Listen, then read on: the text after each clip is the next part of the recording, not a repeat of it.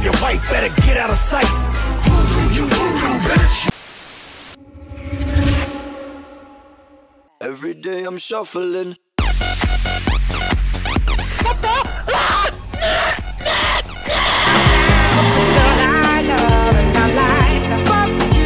Um, and this fall, I'm going to take my talents to South Beach.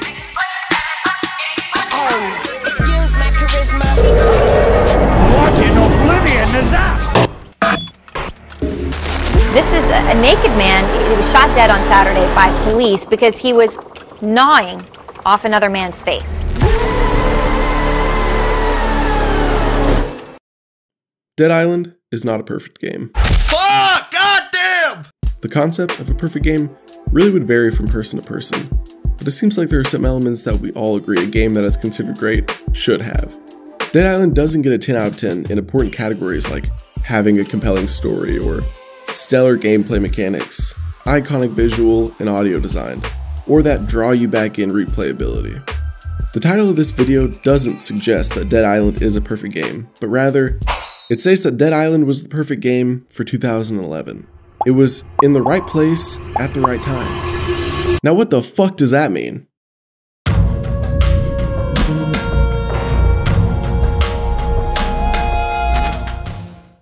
Mentioned it before, but the late 2000s and early 2010s were a magical time. Now, of course, it seems that way because the three of us were in grade school. Hard to forget those days being bored in class, learning about George Washington Lincoln, when all three of us really just wanted to do one thing. Let's fucking kill some zombies. Zombies were everything at the time. You slap zombies on anything and it would sell. We even had real life zombies thanks to the undefeated combination of hard drugs and a Florida man.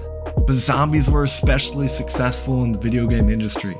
At this time in 2011, the Resident Evil series was deep into their catalog. Treyarch started including the beloved zombie game mode in every installment they made, and Left 4 Dead was there if you actually had a group of friends. But at this time, we were longing for something different, something huge, something not so linear. We wanted an open world zombie game. I personally remember thinking to myself at the time how I'd give anything to be able to just roam a big, beautiful world where there's just this constant threat of zombies looming. You gotta remember at the time, open world games were few and far between, especially good open world games. I remember the day like it was yesterday. I randomly stumbled upon the trailer on IGN's YouTube and it was for this new and upcoming open world zombie game that you could play with your friends called Dead Island. I just can't explain how shocked I was that the concept I wanted more than anything was finally coming and it would be even harder to explain how excited I was.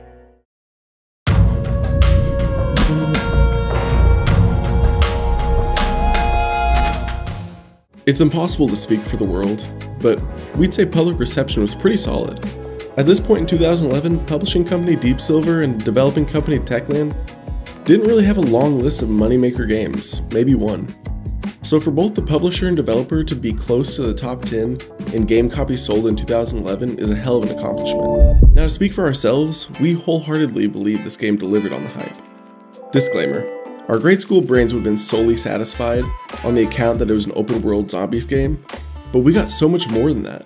Not only was it open world, but it was multiplayer. The character variety was solid. Sam B, also known as the Pimp of the Dead, sticking out the most. It also had an extensive weapon crafting system that opened the door for creative combat. Also, the crafting system would reward the player for exploring the beautiful world to loot. Speaking of the world, the tropical island of Banoi was such a cool and unique backdrop, to contrast to this chaos filled game. Now let's take a deeper dive in that environment. We are sure you all noticed what we noticed scattered across the beautiful, lively tropical island. You couldn't look left, you, you couldn't look right, you certainly couldn't look up, and you for damn sure couldn't look down without seeing those patented propane tanks. Yes, that's that's right, propane tanks. It was clear that the developers were avid fans of the timeless 2000s adult animation cartoon King of the Hill and specifically the beer swinging, What? middle finger flipping, What? Texas rattlesnake, What? Stop, Hank Hill. If you listen closely to the boss battle against the Butcher, you can ever so faintly hear the voice of America's hero, Hank Hill.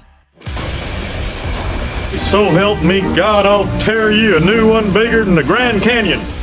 Replay if you need, but did you catch the Butcher murmuring the classic Hank Hill line? So fucking iconic. Now we know about Deep Silver's inspiration for including propane and propane accessories in their game, but let's take a step back and show some appreciation for the studio's inclusion of these items. Madison, can you help me find a zombie? We need to take this motherfucker out. This is so much easier if I just throw it and then walk.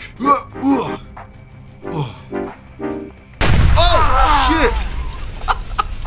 Hey, dig at the bottom of the whale so many times, bro. You're gonna get got. It happens to the best of us. So I thought that was the surefire method to move that tank. Eric, there is gonna be a part in this that I really want you to clip. It's me fucking with that tank and eventually I fucking explode from it. Eric, I also want you to get in the part when you're clipping that when AU blows up and he thinks it's because he threw the tank too many times, but it's actually because I blew it up. I know what I must do, but I'm not sure if I'm strong enough to do it.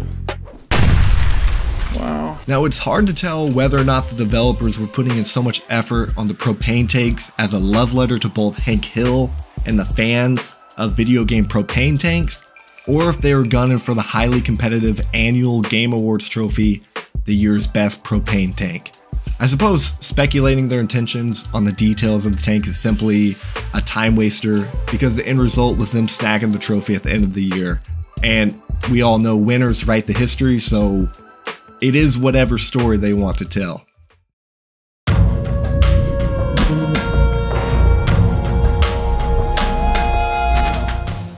Now, it is reported towards the end of the development cycle, the crew at Techland and Deep Silver were anticipating their new IP, Dead Island, would be known mostly for its groundbreaking driving mechanics. I mentioned it before, Deep Silver and Techland were not cranking out successful games at the time. Towards the end of the cycle, they started to run out of money. They started to panic. And in the wake of the panic, president at Deep Silver Games, Cory's dad from the hit anime show Cory in the House, who was a close buddy to the late Henry Ford, who was still alive at the time, Cory's dad, in desperation, reached out to Mr. Ford to see how they can work together. Ford would supply Corey's dad with the amount of money necessary to finish the product, but in return, they would pull off one of the biggest sabotage jobs in video game history. Henry Ford wanted to be known for having the best compact truck in the entire industry. But that pesky Japanese company Toyota and their stupid dum dum truck, the Hilux, which was such a successful truck that they didn't even need to sell it in the US or Canada, it would have made Toyota too much money. Anyway, Henry knew he had to do something. He told Cory's dad he could have as much money as he wanted, just as long as he modeled all the drivable trucks after the damn Hilux.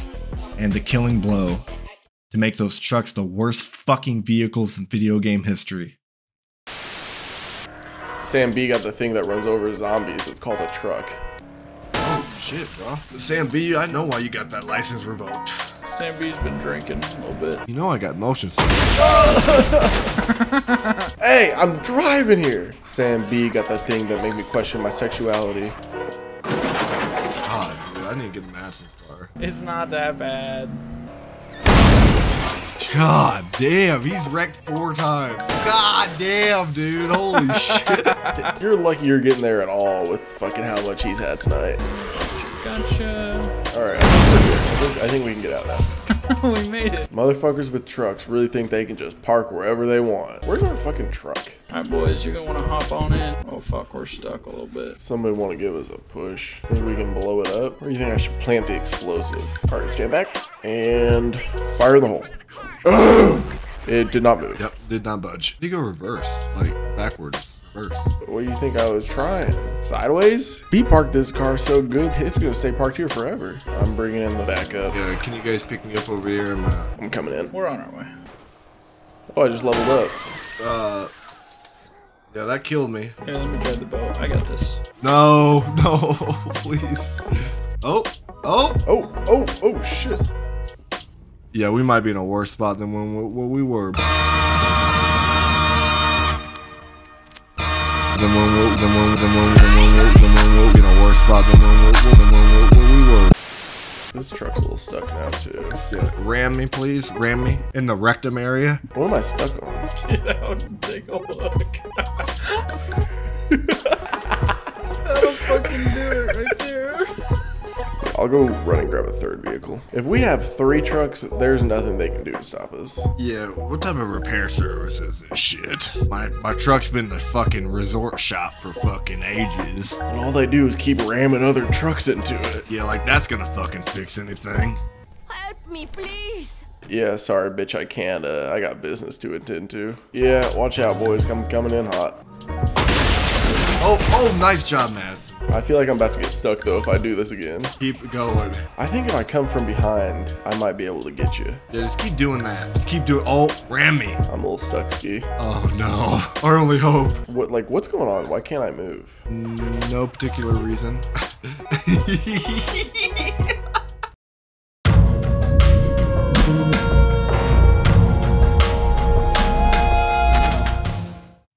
The game was a success financially, especially when compared to other games in the Deep Silver and Techland catalog. It was a smashing success. They surpassed over 5 million copies sold in a short year and a half span. To put that in perspective, that same year, there was an Assassin's Creed game that came out, Revelations. Revelations barely outsold Dead Island in a two year span, and obviously, Assassin's Creed was a majorly popular franchise with a huge fan base and a giant and rich publishing company to back it. All that to say, Deep Silver and Techland didn't get to enjoy their huge payday for long. Because coming from stage left, the lawsuit. It is impossible to forget one of the best promotional collabs in video game history Dead Island and Triscuits. These two went together like peanut butter and jelly, Shaq and Kobe, Magic Johnson and HIV. These two really went all in in terms of collabing. Triscuit boxes had Sam B's cute ass face on them. There was that classic commercial of Sam B parroting his own song. Grab that healthy snack so you ain't whack. Who do you Triscuit, bitch? And the biggest piece of advertising they did together when you start a gaming session of the hot new game, Dead Island, this fall, don't forget to grab a box of Triscuits while you're at it. The combination of these two are totally explosive. Of course, when this commercial dropped, everyone assumed it was some funny but creative way to increase the sale of Triscuits. Unfortunately, it is not that sweet and innocent. The developers at Techland were actually growing tired of the distributing tycoon company known as Nabisco, maker of Triscuits. It seemed like a great collab in the eyes of the public, but without getting into too many grotesque details, things were ugly. The talented folks at Techland were able to work with scientists and evaluate how a Triscuit enters the body, how it affects the body. Everyone knows that motion is connected to the stomach. Common to see someone hop off a roller coaster and puke their guts out, or a person can get serious stomach issues if they catch some motion sickness. After all the research, they knew if they built a very detailed motion blur system for the game that would specifically affect the stomach in a way that would clash the way a Triscuit would affect the stomach, if pulled off, they could sabotage Triscuit and their brand identity. Everyone's shitting their brains out, their sales will go down, and that is exactly what happened. Oh, Fuck. I feel terrible. Shouldn't have had those Triscuits. Triscuits? Dude, you have the fucking weakest stomach of all time. Fuck, I shouldn't have had Triscuits. I'm gonna shit myself right now, I think. Uh oh. I gotta, I'll be right back. Oh, good God Almighty. Eric, right now on that toilet. Eric right now on that toilet. Nope. What? Hold on. Eric right now on that toilet.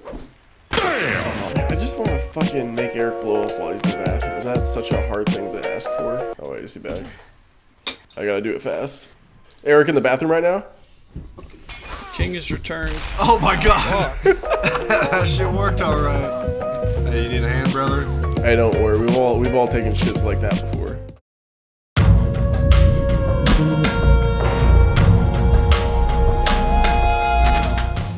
Dead Island was a perfect capsule of the times in 2011, but we already talked about that. We nailed that coffin in already. But in another way, it was ahead of its time by being a political commentary on a United States presidential election that wouldn't happen for another decade. And it all started with one Arizona Cardinals wide receiver who also just so happened to love our national anthem. Hey, look at these gas prices, guys. It looks like Joe Biden's back in office.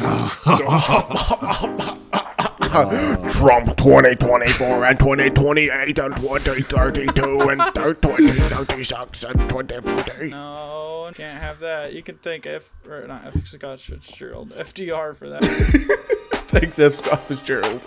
Oh, say, can you see? Thank you for term limits, F Scott Fitzgerald. Thank you, Larry Fitzgerald. All of his receptions put Donald Trump in office. It might have. Somebody should do a case study on the effects of Larry Fitzgerald's football career on the 2016 election.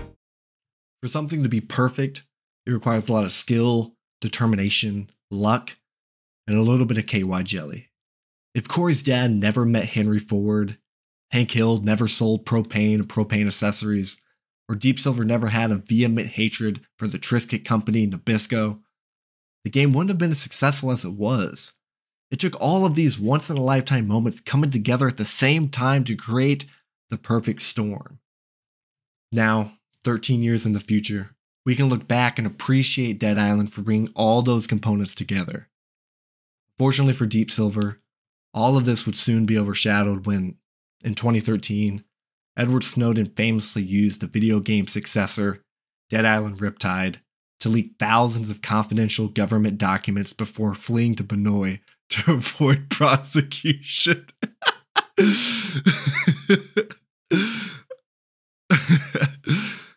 uh, overshadowed when in 2013, Edward Snowden famously used the video game successor, Dead Island Riptide, to leak thousands of confidential government documents before fleeing to Banoi to avoid prosecution. But that's a story for another day.